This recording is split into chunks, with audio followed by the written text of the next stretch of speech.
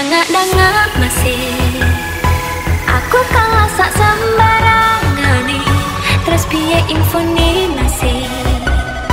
Kadung ceru tresno ku neng de si kono ku tuh